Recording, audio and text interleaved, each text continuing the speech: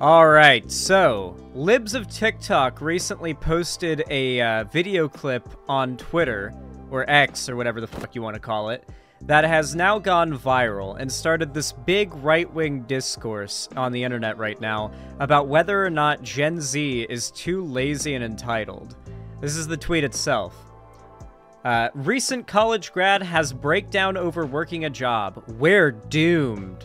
This is a very common narrative the right likes to push, is that, like, Gen Z is uh, super lazy and incompetent and that, uh, you know, like if we're we're the only generations the older like uh, people are the only ones keeping things together. Gen z doesn't know how to do anything and they're so lazy we're so doomed when when we can't work anymore and they're in charge. Um which is actually just a like a reflection and it is true they are doomed. This is a reflection of the fact that gen z is more intolerant of the like status quo that republicans have worked to keep in place for like a hundred years now than any generation before them and it's aggressively so. Like aggressively aggressively so. Um let's look at the video itself but first i want to tell you guys like a little bit of background here if you go back to the 90s and early 2000s, and I mean early 2000s, that generation of teens and young adults who were essentially shaping the culture of the time were notoriously apathetic, edgy, ironic, um, and and just very much all about satirizing current events, current culture, and just kind of having a very doomer, nihilistic outlook on things. And with every like passing batch of young adults coming to, um, you know, coming into society, essentially, we have seen the same phenomena become more and more and more persistent in each, you know, passing generation of young adults. Like you, like even in 2008, you could see the difference was quite more significant than uh, the early 90s and uh, the late 90s and the early 2000s, right? It's been quite consistent, and I think it's marked most notably by this young people I don't give a f- attitude. Not the I don't give a fuck about my life, my safety, or other people's well beings, but the I don't give a fuck about what society says I have to do attitude. And that's not an attitude or like a rebellious phase or anything. That's just the natural state of people. That's just how people are before they get broken by society and, and whipped into just being complacent with the awful, relatively awful situation we're in compared to what we could have. Um, uh, some people, that spirit is broken when they're still in school. Some, it's never broken. But for most, it's broken at some point in their early 20s when they get their first job. This generation, though, this, you know, most recent batch of 20 to 25s um, is quite different. Not in that they're, like, going in the opposite direction or anything they're more unwilling to put up with the bullshit than any generation I've seen, like, it be talked about before. Yes, granted, there was like the burnout generation narrative that happened in the 90s and the early 2000s, but I don't think it was anywhere near to the degree that we're seeing with Gen Z. Putting aside the fact that Gen Z men and women are way more uh, lonely and lacking in relationships and sexual partners, men more so than women, but obviously both both sides are seeing quite the drop uh, compared to even 10 years ago.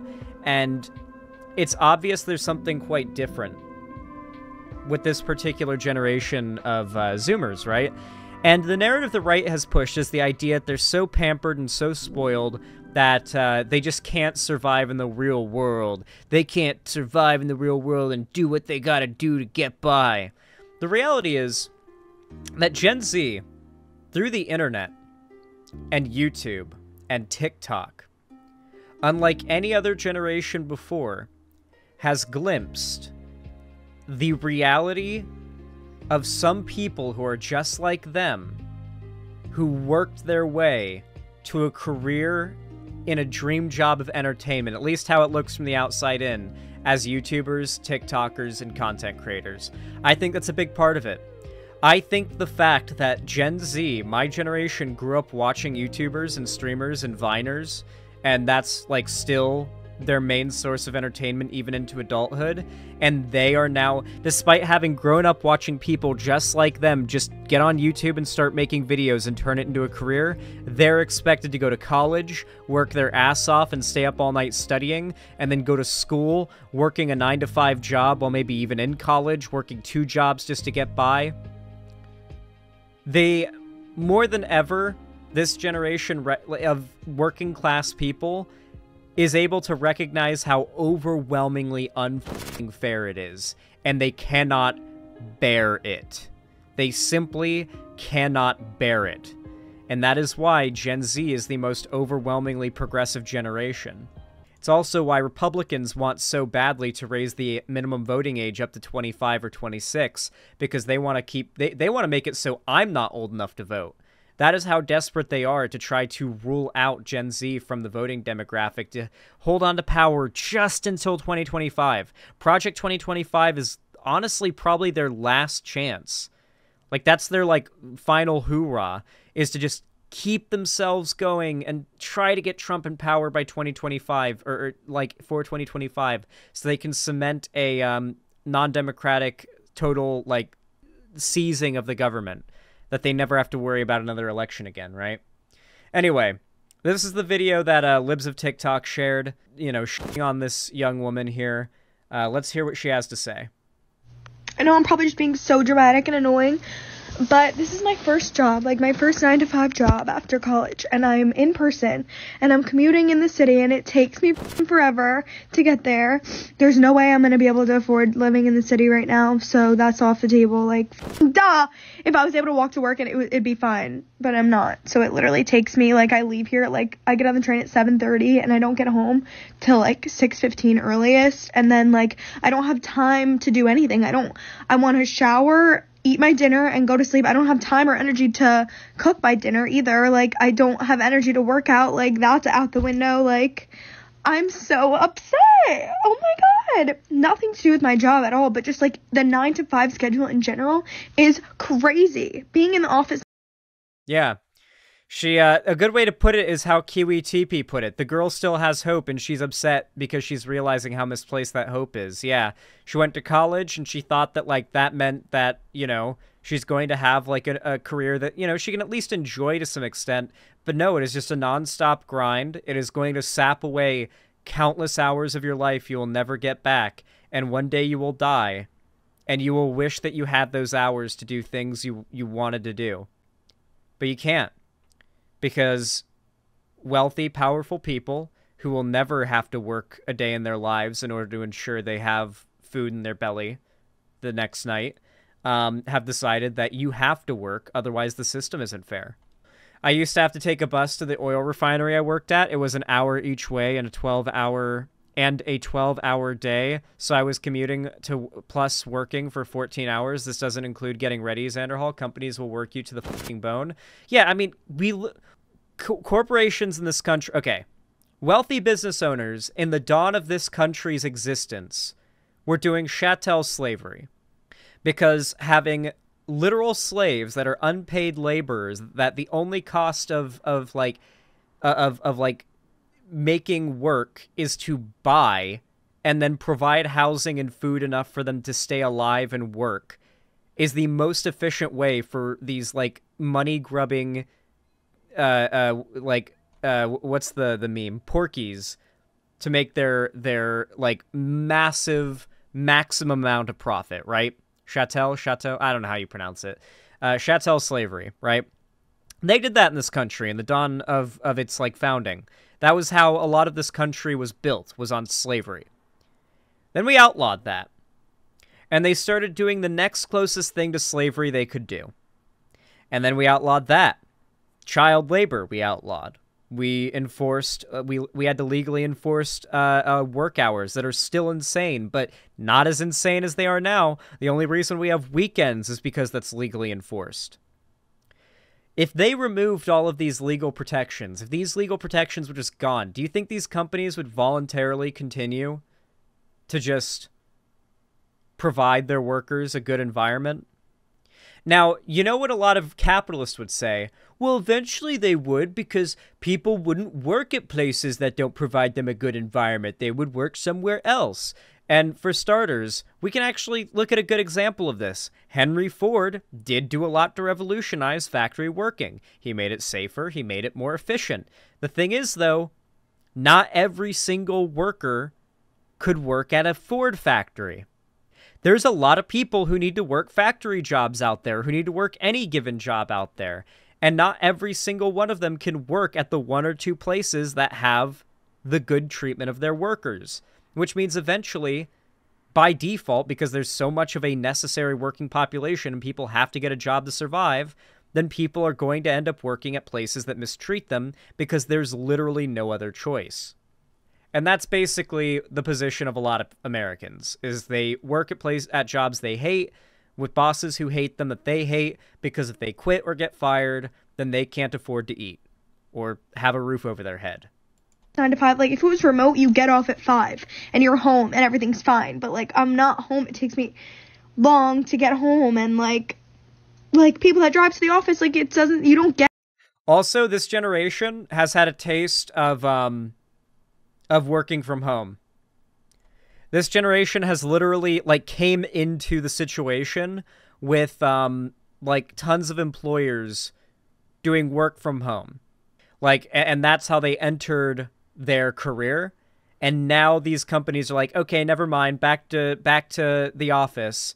And these um th- this generation's like uh we know we don't have to be at the office. We're that's not going to fly with us. And so we've had this like trend of uh, corporate like magazines creating these trends like quiet quitting and whatnot to try to like demonize gen z for doing things that are considered, granted, somewhat socially faux pas, but are without a doubt the smartest thing you can do to ensure your own financial safety, such as like working two jobs or organizing like your next career while you're working your current one behind the scenes. That's what they call quiet quitting, by the way or no, no, no, that's not quiet quitting. That's um something else they demonize. I forget what the euphemism is for. Quiet quitting is when you just do what's in the job description and you don't go above and beyond like a proper worker. They call it quiet quitting.